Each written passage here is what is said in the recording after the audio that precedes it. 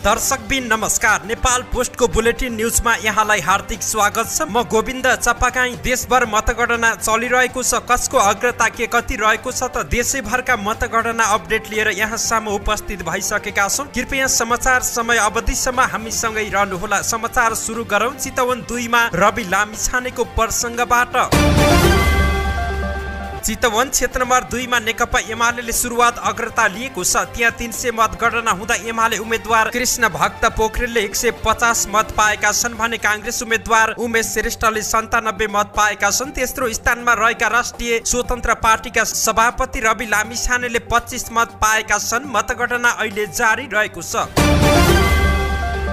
हिजो आइतबार भएको प्रतिनिधि सभाको निर्वाचनको मतगणना जारी रहेको छ। प्रतिनिधि सभातर्फ आज सोमबार दिउँसोसम्म नेकपा एमाले अगाडि देखिएको छ। एमाले हालसम्म झापा दुई धनुषा तिन ललितपुर एक ललितपुर दुई ललितपुर तिन काठमाडौँ तिन काठमाडौँ नौ बाँके तिन दाङ तिन बाह्र एक दैलेख एक र चितवन दुई गरी बाह्र स्थानमा अग्रता लिएको छ। नेपाली काङ्ग्रेसले भक्तपुर दुई काठमाडौँ एक काठमाडौँ चार चितवन एक मकवानपुर एक काठमाडौँ दस र सुर्खेत दुई गरेर सात स्थानमा अगाडि रहेको छ। काङ्ग्रेसले मुस्ताङबाट जितको पहिलो खाता खोलिसकेको छ। काङ्ग्रेस उम्मेद्वार योगेश गौचनले प्रतिस्पर्धी नेकपा एमालेका निवर्तमान सांसद प्रेम तुलाचनलाई हराएर काङ्ग्रेसबाट जितेर खाता खोलेका छन्। यस्तै रवि लामिछाने नेतृत्वको राष्ट्रिय स्वतन्त्र पार्टी पनि यही निर्वाचनबाट उदय हुने देखिएको छ। हालसम्म झापा चार काठमाडौँ छ काठमाडौँ सात काठमाडौँ आठ र कास्की दुई गरेर पाँच स्थानमा अग्रता लिइरहेको छ। माओवादी केन्द्र सरलाई तिन नेकपा यस धादिङ जनमत पार्टी सप्तरी एक र सप्तरी दुई राप्रपाले भक्तपुर एक र झापा तिन नागरिक उन्मुक्ति पार्टीले कैलाली एक लोसपाले रूपन्देही चारमा अग्रता लिएको छ। हाल मात्रै दर्ता गरेर चुनावमा होमिएको लामिसाने नेतृत्वको स्वतन्त्र पार्टीले पाँच केन्द्रमा अग्रता कायमै राख्दा माओवादी र नेकपा यस भने कमजोर देखिएको छ।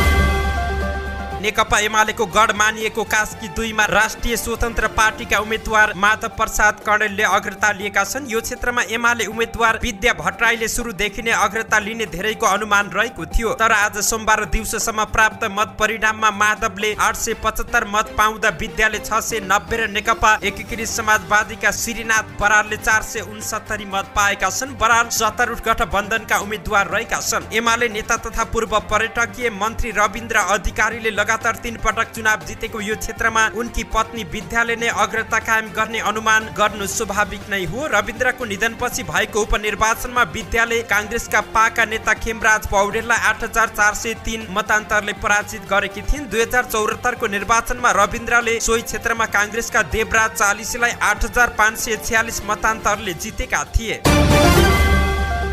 तनहु क्षेत्र नम्बर दुईको प्रारम्भिक मत परिणाम सार्वजनिक भएको छ। एक हजार छ सय सैतिस मत गणना हुँदा नेपाली काङ्ग्रेसले अग्रता लिएको छ। काङ्ग्रेसले सात सय छत्तिस मत ल्याउँदा एमाले चार सय छब्बिस मत ल्याएको छ। राष्ट्रिय स्वतन्त्र पार्टीले दुई सय बयालिस मत प्राप्त गरी तेस्रो स्थानमा रहेको छ। उनानब्बे मत बदर भएको छ। यो क्षेत्रमा प्रतिनिधि सभामा काङ्ग्रेसबाट शङ्कर भण्डारी र एमालेबाट किरण गुरुङ बीच कडा प्रतिस्पर्धा देखिएको छ।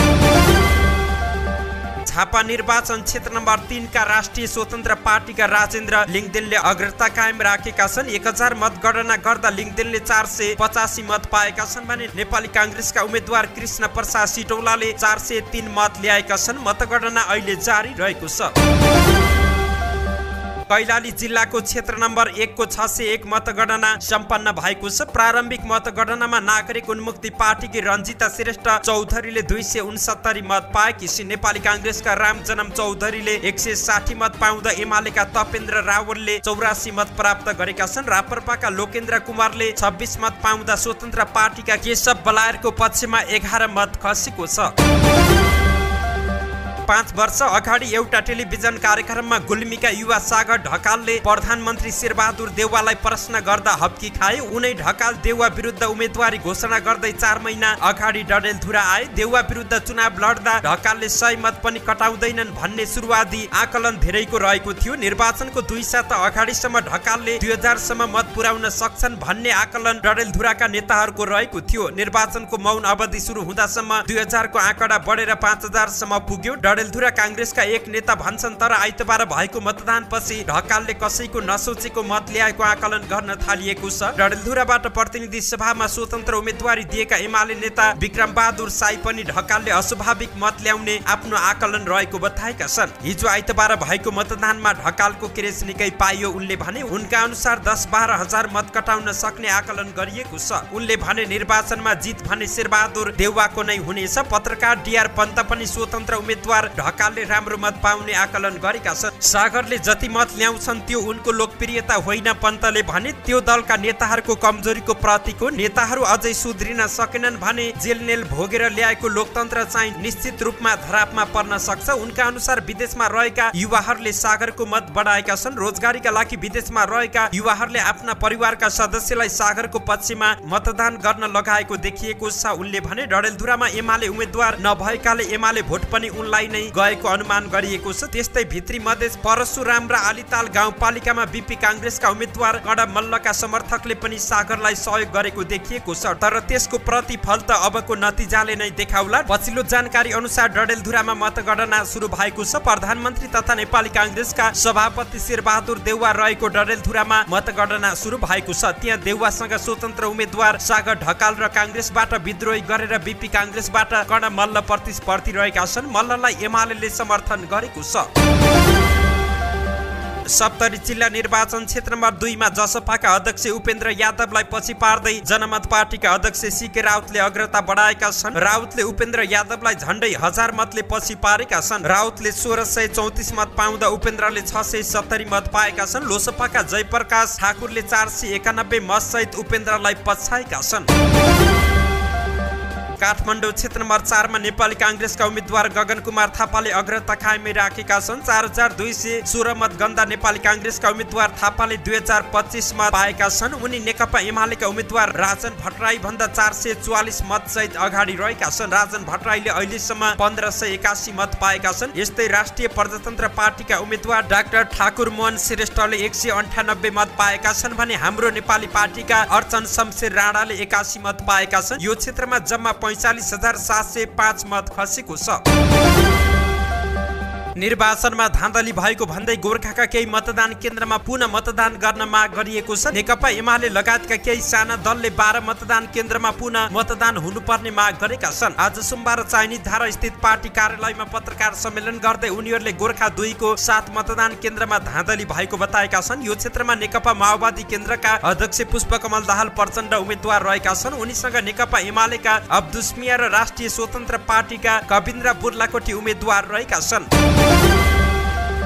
पारपाक सुलीकोट गाउँपालिका वडा नम्बर चार रन्चोकको दुर्गा मावि र हिमालय मावि सोही पालिकाको सूर्य ज्योति मावि पालुङटा नगरपालिका वडा नम्बर सातको जीवन ज्योति मावि वडा नम्बर एकको स्थानीय आधारभूत विद्यालय सिरान्चोक गाउँपालिका आठ जौबारी स्थित परोपकार आदर्श मावि र आचिरकोट गाउँपालिका तिनको ज्ञान ज्योति माविको मतदान केन्द्रमा वाम गठबन्धनले धाँधली गरेको उनीहरूको आरोप रहेको छ। त्यस्तै गोर्खा एकको चारवटा मतदान केन्द्रमा पनि धाँधली भएको उनीहरूले बताएका छन्। भीमसेन थापा गाउँपालिका एकको बाल कल्याण आधारभूत विद्यालय विद्रवती मावि वडा नम्बर आठको भीमसेन आधारभूत विद्यालय र धार्चे गाउँपालिका तिनको पार्वती आधारभूत विद्यालयको मतदान केन्द्रमा पनि पुनः मतदान हुनुपर्ने उनीहरूको माग रहेको छ। धादिङ क्षेत्र नम्बर एकमा नेकपा एमाले अग्रता लिएको छ। ताजा मत परिणाम अनुसार एमालेका भूमि त्रिपाठी एकानब्बे मत सहित अग्र स्थानमा रहेका छन्। त्रिपाठीलाई नेकपा एकीकृत समाजवादीका राजेन्द्र प्रसाद पाण्डेले नब्बे मत सहित पछाइरहेका छन्। यस्तै राष्ट्रिय स्वतन्त्र पार्टीका उम्मेद्वार हिमेश पन्तले पन्ध्र मत प्राप्त गरेका छन्। धाँधली भएको भन्दै स्याङ्जा क्षेत्र नम्बर दुईमा पुनः मतदान गर्न माग गरिएको छ। एमाले उम्मेद्वार पद्मा अर्यालले आज सोमबार पत्रकार सम्मेलन गरेर धाँधली भएकाले पुनः मतदानको माग गरेकी हुन्। चापाकोट नगरपालिकाका चारवटा बुथमा मत खसेको र प्रहरी प्रशासन पनि गठबन्धनकै मतियार बनेको उनको आरोप रहेको छ। उनी सहित केही उम्मेद्वारले आज सोमबार निर्वाचन आयोगलाई पत्र दिएका छन्। गठबन्धनका कार्यकर्ताले बुथ कब्जा गरेर एकै व्यक्तिले पटक पटक मतदान गरेको आरोप उनीहरूको रहेको छ। पत्रमा नेकपा एमालेकी उम्मेद्वार पद्मा अर्याल राष्ट्रिय स्वतन्त्र पार्टीका टिकाराज गुरुङ राष्ट्रिय प्रजातन्त्र पार्टीका लाल गोपाल अर्याल लगायतले संयुक्त निवेदन दिएका छन्। मकवानपुर प्रतिनिधि सभा क्षेत्र नम्बर एकमा नेपाली काङ्ग्रेसले सुरुवाती अग्रता लिएको छ। सत्ता गठबन्धनकी साझा उम्मेद्वार काङ्ग्रेसकी महालक्ष्मी उपाध्याय डिनाले सात सय उनानब्बे मतका साथ अग्रता बनाएकी छिन्। एक हजार तिन सय पैँतिस मत गन्दा डिनालाई एमालेका उम्मेद्वार रापरपा नेपालका अध्यक्ष कमल थापाले तिन सय एकाउन्न मत ल्याएर पछाइरहेका छन्। प्रारम्भिक मत परिणामले राजधानी उपत्यकामा पुराना राजनीतिक दलहरूप्रति मतदातामा आकर्षण घटेको सन्देश पाइएको छ। काठमाडौँका गणना भएका आठ मध्ये तीनवटा निर्वाचन क्षेत्रमा राष्ट्रिय स्वतन्त्र पार्टी रासोपाका उम्मेद्वारले अग्रता लिएका छन्। काठमाडौँ छ सात र आठमा भर्खरै खुलेको रासोपासँग सत्तारूढ गठबन्धन र प्रमुख विपक्षी नेकपा एमालेका उम्मेद्वार पछाडि परेका छन्। ललितपुर र भक्तपुरमा पनि नयाँ दल र स्वतन्त्र उम्मेद्वारले प्रतिस्पर्धी मत पाइरहेका छन्। ललितपुर दुईमा एमालेका उम्मेद्वारले अग्रता बनाए पनि लौ चौरो चिन्ह रहेको हाम्रो नेपाली पार्टी दोस्रो र घन्टी चिन्ह भएको रासोपाले राम्रै मतदान सही चौथो स्थान बनाएको छ। ललितपुर तिनकी तोसीमा कार्कीले सत्तारूढ र विपक्षी दलका उम्मेद्वारहरूलाई चुनौती दिइरहेकी छिन् मतगणना हुन बाँकी काठमाडौँ दुई र पाँचमा नयाँ पार्टीको राम्रै आकर्षण रहेको पूर्वानुमान गरिँदै आएको छ। नयाँ दल र स्वतन्त्रहरू प्रति आकर्षण देखिँदा काठमाडौँ उपत्यकामा मत भने अघिल्लो पटक भन्दा कम खसेको छ। निर्वाचन आयोगको प्रारम्भिक आँकडा अनुसार अघिल्लो निर्वाचन भन्दा यसपटक पाँच प्रतिशत मत कम खसेको छ। काठमाडौँका दसवटै निर्वाचन क्षेत्रमा यसपटक मत कम खसेको बताइएको छ। सबैभन्दा कम काठमाडौँ आठमा उन्साठी दशमलव आठ नौ प्रतिशत मत खसेको छ। काठमाडौँ दसमा भने करिब सत्तरी प्रतिशत मत खसेको पाइएको छ। यसै गरी हामीलाई भर्खरै प्राप्त भएको जानकारी अनुसार कैलाली चारमा चार सय गणना गर्दा वीरबहादुर बलायर काङ्ग्रेसबाट दुई सय पाँच मत लेखराज भट्ट एमालेबाट एक सय तिस मत ल्याएका छन्। भरतपुर दुईको अपडेट दुर्लभ थापा रुखमा छ हजार एक सय चौरासी मत पाएका छन् भने महेश बस्नेत सुरेमा पाँच हजार पाँच सय छब्बिस मत पाएका छन् भने बदर तिरासी मत भएको छ। चितवन क्षेत्रमा दुईमा छ सय निरान्सो मतगणना सम्पन्न हुँदा सुरेबाट कृष्ण भक्त पोखरेल तिन सय चौसठी मत मत घन्टी रवि लामिछाने त्रिचालिस रुख उमेश श्रेष्ठ दुई सय छत्तिस मत पाएका छन्। दाङ क्षेत्र नम्बर दुई प्रतिनिधि सभातर्फ गणना भएको मत दुई हजार सात सय अस्सी मध्ये नेकपा एमालेबाट शङ्कर पोखरेल आठ सय छ्यालिस मत पाएका छन् भने नेकपा माओवादीका तर्फबाट रेखा शर्माले एक हजार चार सय पचास मत पाएका छन्। इलाम दुईको अपडेट डम्बर खड्का नेपाली काङ्ग्रेसबाट तिन सय बयालिस मत ल्याएका छन् भने सुभाष नेमाङ एमालेबाट दुई सय पचहत्तर मत ल्याएका छन्। झापा तिन अपडेट दुई हजार पाँच सय अठाइस मत गन्दा राजेन्द्र लिङदेन हलोबाट एक हजार दुई सय चौरात्तर मत प्राप्त भएको छ। कृष्ण प्रसाद सिटौला रुखमा नौ सय पन्चानब्बे मत प्राप्त भएको छ। प्रकाश पाठक घन्टीमा एक सय चार मत प्राप्त भएको छ भने योगेन्द्र खनाल लौरोबाट सात मत प्राप्त भएको छ। ललितपुर तिन अपडेट डाक्टर तोसीमा कार्की घन्टीमा एक हजार छ सय आठ मत प्राप्त भएको छ। अमृत खड्का सुरेमा एक हजार पाँच सय उन्नाइस मत प्राप्त भएको छ भने पम्फा भूषाल हँसिया हतौडामा एक हजार दस मत प्राप्त भएको छ। सप्तरी दुई प्रतिनिधि सभा सदस्यतर्फ सिके राउत जनमत पार्टीका तर्फबाट तिन हजार सोह्र मत उपेन्द्र यादव जसपा एमालेबाट एक हजार एक सय सत्तरी र जयप्रकाश ठाकुर सत्ता गठबन्धनबाट छ सय एकसठी मत प्राप्त गरेका छन्। बाँके दुई अपडेट धमला शमशेर जबरा राप्रपाबाट एक हजार नौ सय तिरानब्बे मत प्राप्त गरेका छन्। मोहम्मद इस्तियाक जसपाबाट छ सय चौरानब्बे मत प्राप्त गरेका छन् भने सुदीप नरसिंह राणा काङ्ग्रेसका तर्फबाट दुई सय अठार मत प्राप्त गरेका छन्। दाङ क्षेत्र नम्बर दुईमा दुई हजार सात सय अस्सी मत गणना हुँदा रेखा शर्मा माओवादीका तर्फबाट एक हजार चार सय पचास मत प्राप्त गरेका छन् भने शङ्कर पोखरेल हिमालयबाट आठ सय छ्यालिस मत प्राप्त गरेका छन्। काठमाडौँ आठ अपडेट सुमन सामी लौरोबाट एक हजार तिन सय सैतिस मत विराज भक्त श्रेष्ठ घन्टीबाट एक हजार एकानब्बे मत शिवराज वैद्य एमालेबाट पाँच सय सतासी मत जीवनराम श्रेष्ठ नेकपा यसबाट चार सय सत्र मत पाएका छन् भने प्रकाश रिमाल रापरपाका तर्फबाट तिन सय साठी मत प्राप्त गरेका छन्। दर्शकबिन हामीले यो समाचार सङ्कलन गर्दै गर्दाको समय अवधिको मतगणना यहाँसम्म प्रस्तुत गरेका हौँ। मतगणना चलिरहेको हुनाले थोरै तलमाथि हुन सक्छ। यसको लागि क्षमा प्रार्थी छौँ। धन्यवाद।